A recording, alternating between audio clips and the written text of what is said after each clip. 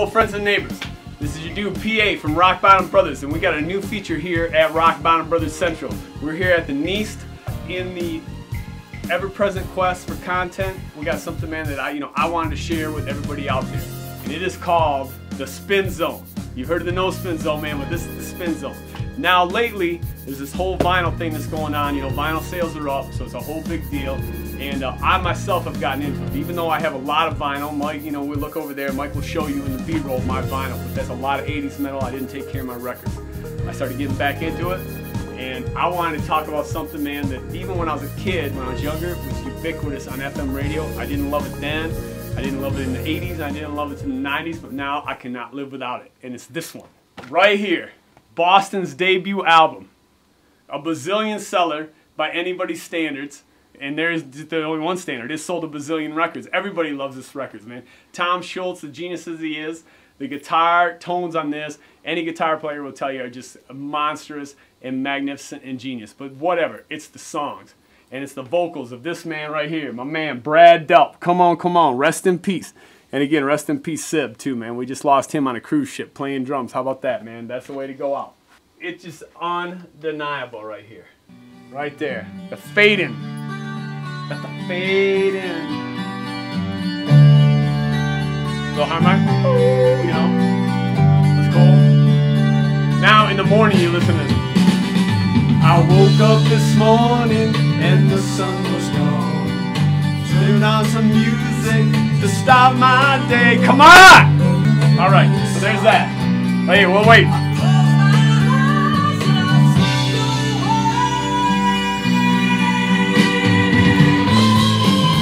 Right? Okay. Got the claps, right? Come. Man, come on. So we got that. Beautiful, right? Here's the main one right here. Oh, see? No? No? This is what I feel ties directly into the debate of ties directly into the debate. Is music as good as it used to be or is it not? And here's the thing you see the time investment it takes to play that record. So if I was making music, why would I put the time into making a record like that if nobody's to take the time to go through the work to listen to it? And here it is.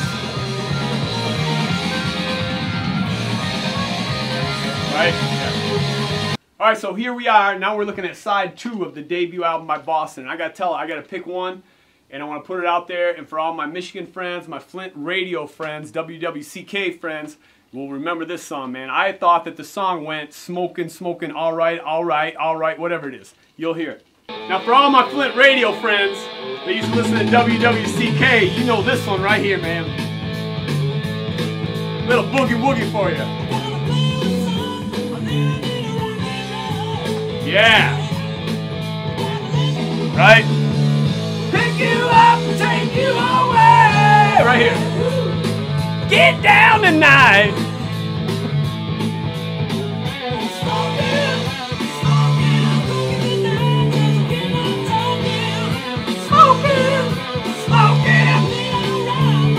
Right here. Somebody. Okay.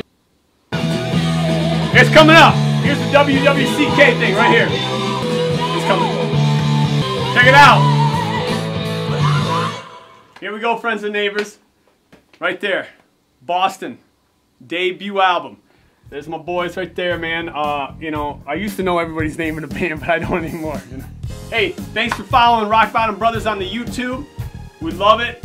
Come back. We're going to get more vinyl and we're going to do the thing again. Subscribe, subscribe, subscribe, please.